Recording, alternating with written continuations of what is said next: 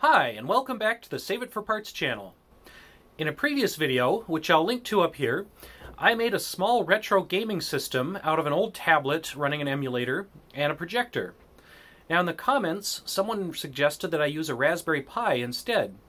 And I realized I've never actually used a Raspberry Pi, and I've never really played around with one. I have some experience with the Linux operating system, and I've played around a little bit with some embedded PCs, but I've never used that particular device. Now, this generous commenter also offered to give me some of his old ones, and I took him up on it. So thank you, Eats Too Much Jam. It's really appreciated. Now, I started looking online to see what can you do with these Raspberry Pis, and there's a lot of things you can do. And so I went a little nuts, and I started ordering some sensors and a screen and a RTL SDR. All of this stuff together was surprisingly cheap. I think you can get the screens for like $30 and the little RTL for about $10. So not all of this is strictly save it for parts, but I'm going to see what can I build out of all this stuff and these donated Raspberry Pis. Now since I am completely new to this Raspberry Pi thing, I've just gone to their website and started following the instructions for how to set this thing up. I found a micro SD card to load in here for the operating system. So I'm going to download that and see if I can find a monitor and a keyboard that will interface with this.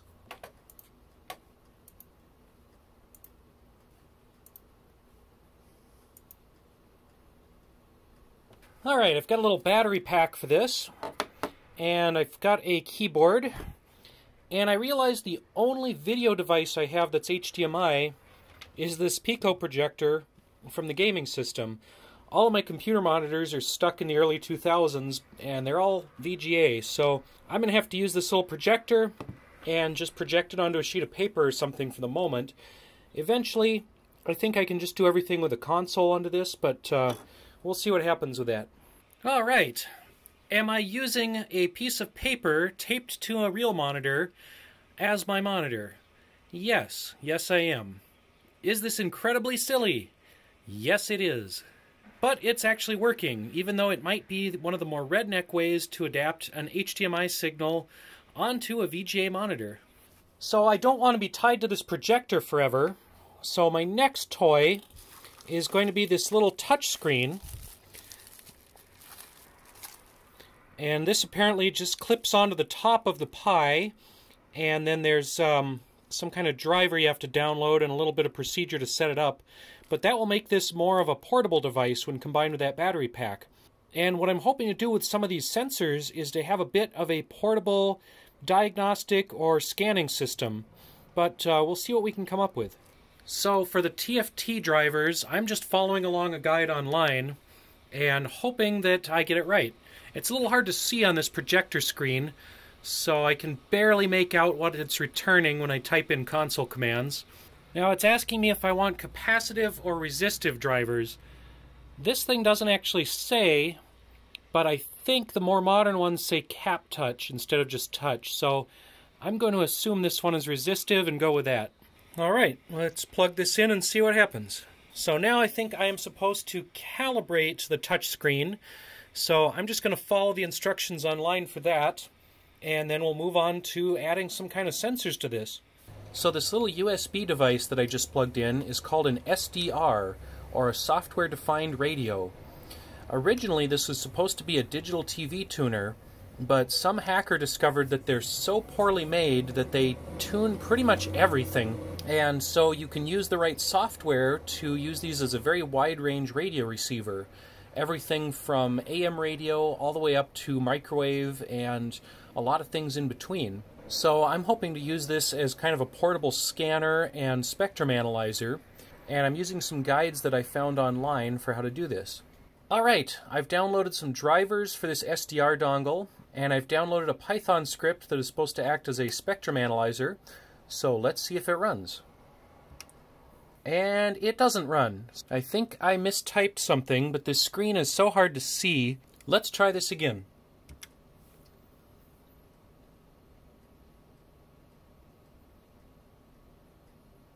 Well, it's doing something. That's cool. Now I'm running into a couple problems with this little guy. It does freeze occasionally, It's been freezing when I try to shut down, and it did freeze when I ran that SDR frequency analyzer program. And in addition, I'm not getting any audio out of the 3.5 millimeter jack. I know it's not supposed to be a headphone jack, but most people say it will work with earbuds. I'm not getting anything out of it either as a line input to my computer or in the earbuds. So, I'm going to try the other Raspberry Pi that I was given. I think it's the same model. I think it's all the same hardware. So if I'm guessing correctly, I can just swap my mini SD card and all of my hardware onto that board and it should run hopefully better than this one, but it, it should run without any major changes. Alright, it seems like the audio is working better on this board. And now my touchscreen is no longer working again. So maybe I have to go back and recalibrate that. Alright, well this touchscreen is still pretty flaky. I'm not sure what happened. I think there was an error downloading one of those code repositories, but that little screen is so tiny that I can't really read anything that it's putting out into the console. It's way easier to read on the camera, so I either need to get a bigger TFT screen or hook up that projector again or just use my camera as a magnifier for my tired old man eyes. Alright, I am now trying a different TFT screen that I got. This one is slightly larger, and it doesn't have the same pinouts as the other one for adding extra accessories, so I'm not sure if I want to keep using this or not. So now I have messed this system up so badly that neither of the TFT screens work, and on HDMI it will not boot into the graphical X interface. Fortunately, I was able to force a console, and I've got my HDMI projector set up again. So I think I'm going to need to go back in, change that frame buffer setting back to the way it was, reinstall the drivers for the Adafruit Pi TFT, and then hope everything works again. This is pretty much what happens to me anytime I try to do anything complicated with Linux. I end up uh, sucked down a rabbit hole of dependencies and programming language installations and repositories that don't actually exist. And trying to follow guides online is great, but sometimes those guides are from five years ago, and the links that they reference and the drivers that they reference aren't in the same place, and so not everything works every time. And then, of course, there's just my own incompetence where I go in and start changing settings without really understanding what they do. And so I get myself stuck in some place. Okay, so we're back to that original PiTFT, and we're running GQRX as our spectrum analyzer on the RTL SDR. And unfortunately, I am not getting any audio out of this thing. There was a brief time when I was able to hear audio from YouTube and other websites on the headphone jack, but I seem to have broken that or overloaded it somehow because there's no more audio out of the headphone jack, no matter what I do. So I might have to get a USB sound card or figure out if there's such a thing as an HDMI speaker or get audio out of this in some other way so I can actually listen to the radio that I'm picking up. This is a local FM broadcast station. You can see the FM uh, frequency here, and I can change my input frequency. So here we've got a NOAA weather radio broadcast, and this is close to the Marine VHF band. So that's a narrow FM broadcast versus wide FM that we saw on 93.7.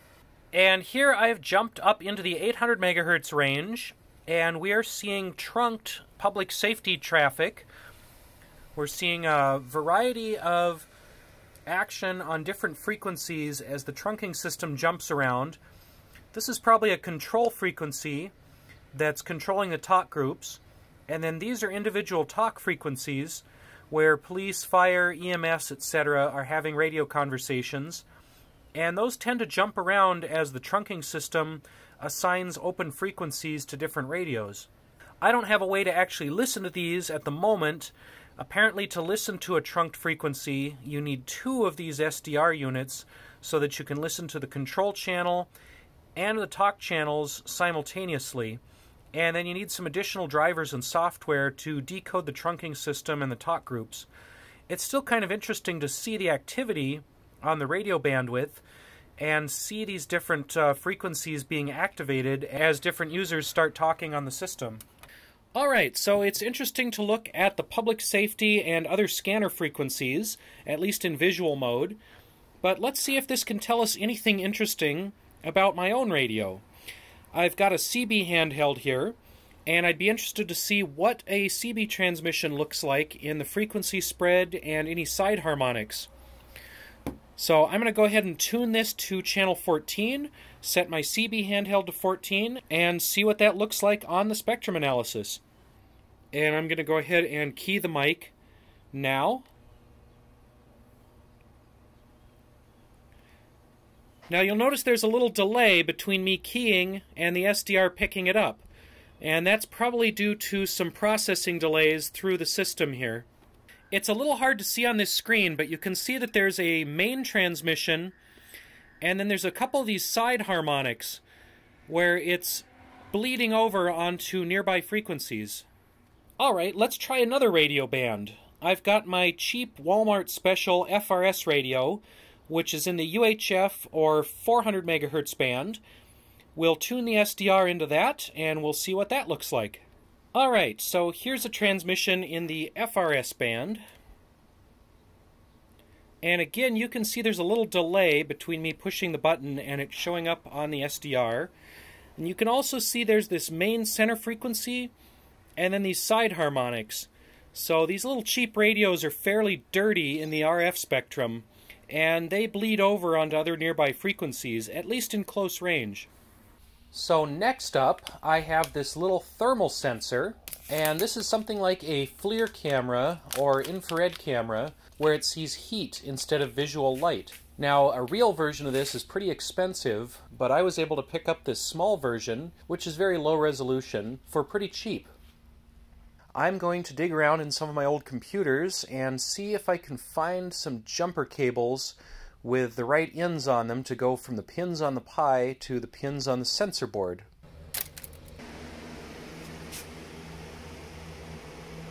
Alright, I seem to have done something terribly wrong with my jumper wires because the Pi is not booting anymore.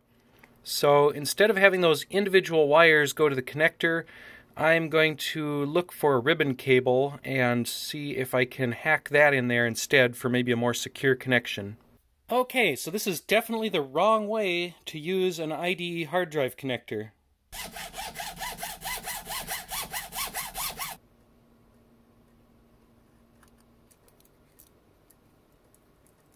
It really doesn't work this way with a continuity meter because all this stuff kind of connects to some extent, so I just get various resistances across all these wires. I can't use this stuff. I've found yet another cable that I'm trying to rob little jumper pins out of. So hopefully I can get this connected up in a way that still makes the TFT work and makes the little thermal sensor work and doesn't destroy the Pi somehow. So this could be one of my problems right now. I seem to have physically broken my SD card. I don't actually know how I did that, if it was already damaged, or if I klutz fingered the thing, or slammed it down on the table somehow, but I have cracked my SD card, so I have no operating system at the moment. So, back to the OS installer.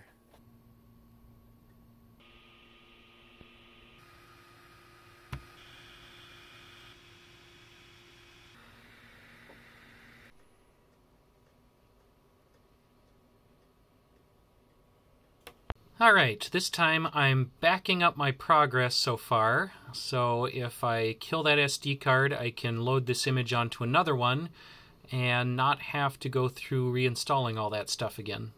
Alright, I have waded through all the dependencies for the Python libraries on this little thermal sensor, and I've wired it up, hopefully correctly. So let's plug in the Pi and see if we let out the magic blue smoke. And something is still not installed correctly. So the online guide for this little dealie is not the most straightforward, and it's basically this giant rabbit hole of dependencies where each link you click has three other links you have to follow first.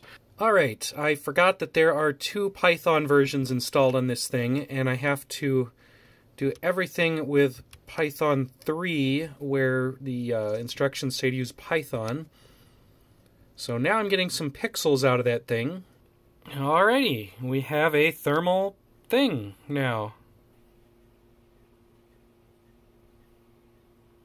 Um, one of the better videos for how to do this AMG 8833 thermal sensor is from a YouTuber called Piddler in the Root, and I'll throw a link up to his video.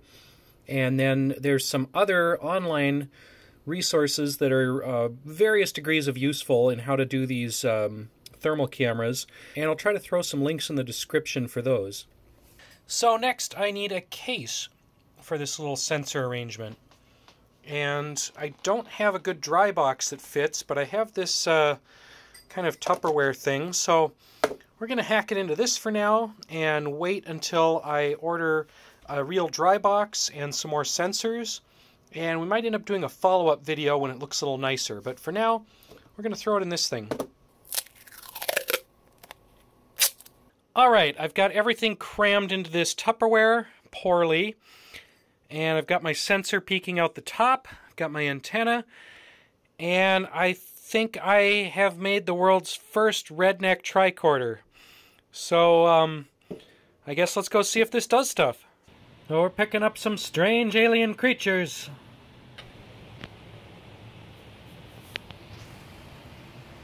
Captain, we're picking up a Klingon trailer park off the port bow. We're receiving some sort of primitive communication.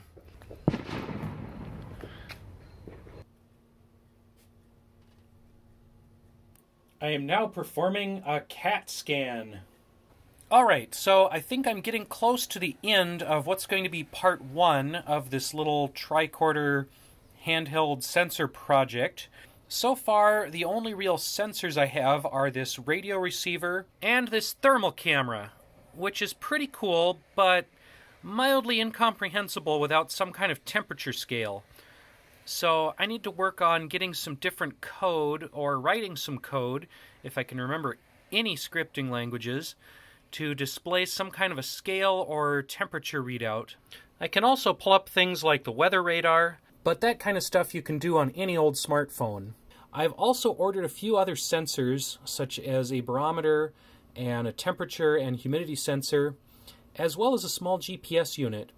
And again, a lot of these features are included in modern smartphones, but I think it'd be fun to throw these into my little handheld scanner try to integrate them somehow into a single sensor package and have some kind of a nice interface that lets me wander around and scan the environment around me. Whether that will end up looking nice or end up looking like redneck trash remains to be seen. Now, since I ordered all of those parts from overseas and shipping usually takes a few months, the next video is probably not going to come out for a while. But once I get all those sensors and have some more time to throw them together and play with this Pi, then I will have the follow-up video. So please go ahead and subscribe if you want to see that one when it comes out, and like this video if you enjoyed it, and check out my other videos. I don't do a lot of electronics, but I do some occasionally, and I do a lot of boats and potato guns and other stuff, so take a look at those. And then I'll just leave you to enjoy this nice thermal view of my cup of tea. Thanks for watching.